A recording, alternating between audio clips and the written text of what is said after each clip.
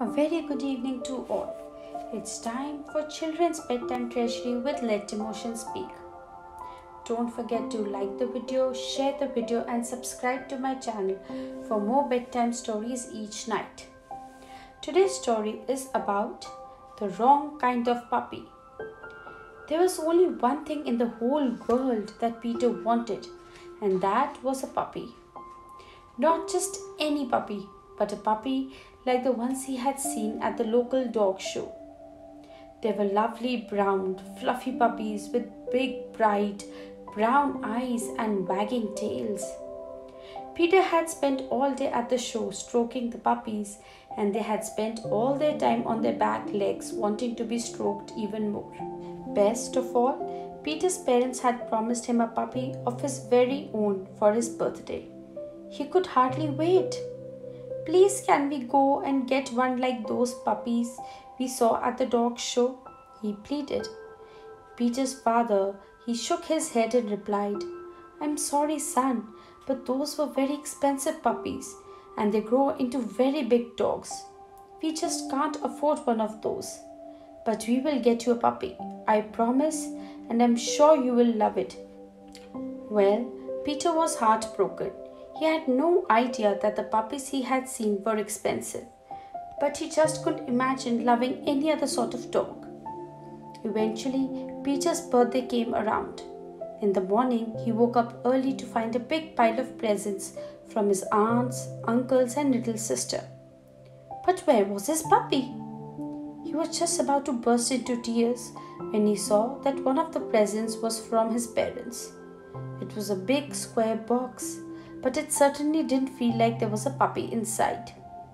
He opened the box anyway and discovered that it contained a collar, a lead, a dog bowl, a brush, and a comb, and some bone shaped biscuits.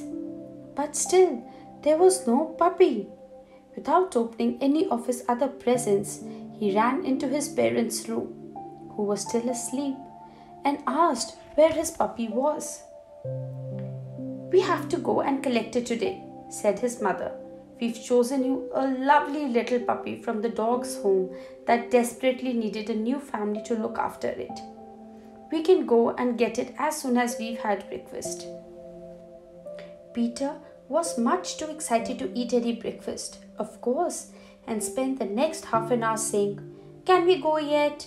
Eventually, everyone was ready and they all climbed into the car for the journey to the dog's home. Peter sat in the back, clutching the lead and hoping it wouldn't be too long before there was a puppy attached to the other end of it. Soon they reached the dog's home, and one of the kennel maids took them where to Peter's puppy was being kept. But when Peter first set eyes on the puppy, his heart sank. This wasn't anything like the sort of puppy he had wanted. Instead of being brown and fluffy and bouncy, this puppy was tiny and scratchy and timid. When it saw Peter and his family approach, it gave a little wag of its tail, but then just stood in its cage whimpering. Now, Peter had been taught by his parents that you must never be ungrateful for presents, even if they aren't exactly what you wanted. So, although he was very disappointed, he reached out and stroked the puppy. The little scruffy puppy timidly approached Peter, licked his hand, and then ran off into the corner of the cage.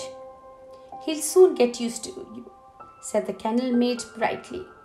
Come on, Rags, time to go to your new home. And with that, she lifted the little puppy up and placed him in Peter's arms. All the way home, the little puppy sat quietly in Peter's arms, occasionally trembling. Now again, he looked up at Peter with his big soft eyes. When they got Rags home, he was so frightened that he ran and hid under the curtains. Peter wondered how he was going to be able to play with such a timid friend. Later that day, Peter was sitting at the table having lunch when he felt something cold and wet against his leg. It was Rag's nose. He peered down to see Rags looking up at him his tail wagging backwards and forwards. He's looking a bit happier now, said Peter's father. It will only be a matter of time before he feels really at home here. The next morning, Peter hurried downstairs as soon as he awoke to say good morning to Rags. Because the truth was, although Rags wasn't quite happy like the other puppies he had expected, he was really getting very fond of him. Rags jumped out of his basket when he saw Peter, his tail wagging furiously. He's quite a waggy dog after all, thought Peter. Then Rags picked up his ball and began to play with it. Every time Peter tried to take it, Rags scurried off with a wag of his tail, looking around to make sure that Peter was chasing him. He seemed to like playing after all. As the days went by, Rags seemed to grow more and more playful. He would jump up and greet his family with a big lick and a wagging tail. He always wanted to go for walks and to play, and he was very quick to learn tricks. Peter just couldn't believe how much Rag had changed from the timid little creature in the dog's home to the happy, playful puppy he was now.